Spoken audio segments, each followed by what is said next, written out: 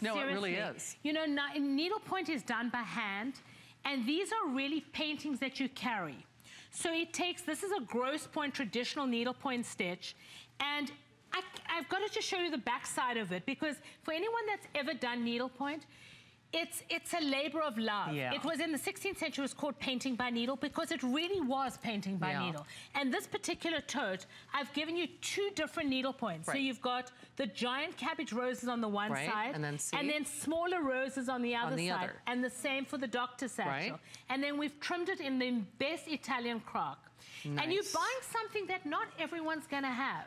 Yeah, I love and it. needlepoint I love is these an heirloom piece because it pops open and you can see it, everything. It does. So and now, Kim, when you talk about this again, no one is doing this. Is real needlepoint. So It's what they do is they we paint it. In other words, an artist paints it, and then by hand they start the process. In other words, they dye the yarns. Right. We choose which colors. They paint. An artist paints it. Oh, my God. And it's it's really is you buying art. Yeah. You're buying something, and needlepoint is a dying art.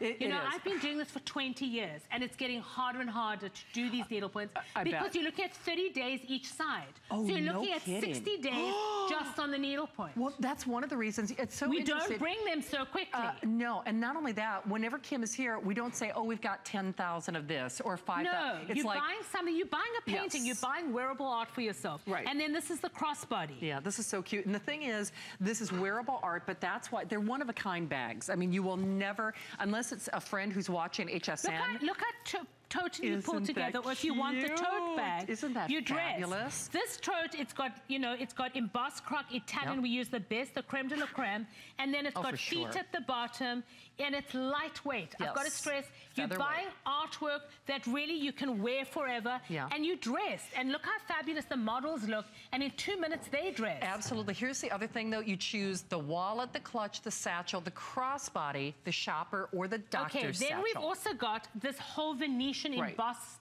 collection, Okay. which is embossed leather. Oh, yeah. Oh, my God. Look at that, Kim. So if you get a close one over here, you can actually see the, bro- this brocade. Yeah. Brocade stands for embossed. In other words, this is looks like a Venetian embossed, embossed leather. Yeah. And then it's trimmed in leather. You've got the hand and then you've got the shoulder. We've got it in a clutch Right. and we have it in the wallet. Oh, there's the wallet. Okay. And it all coordinates beautifully if you want to mix them. Right. Oh, why not? See? So you can mix the whole story. Yes, you can.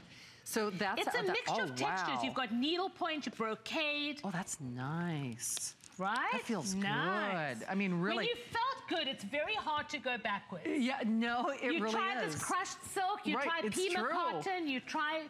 It feels Right. fabulous. You can't go backwards. So here's the thing, guys. Choose either the Venetian embossing or, of course, those roses in the uh, needlepoint 098737 with all of your various choices available. And uh, Kim has some killer clearance on hsn.com. So, uh, wow, are you kidding me? okay. How- What is the math on that? So that's like Okay, over $300 off, okay? Over $300. Can you walk in those shoes or are you struggling really. dear? Not really.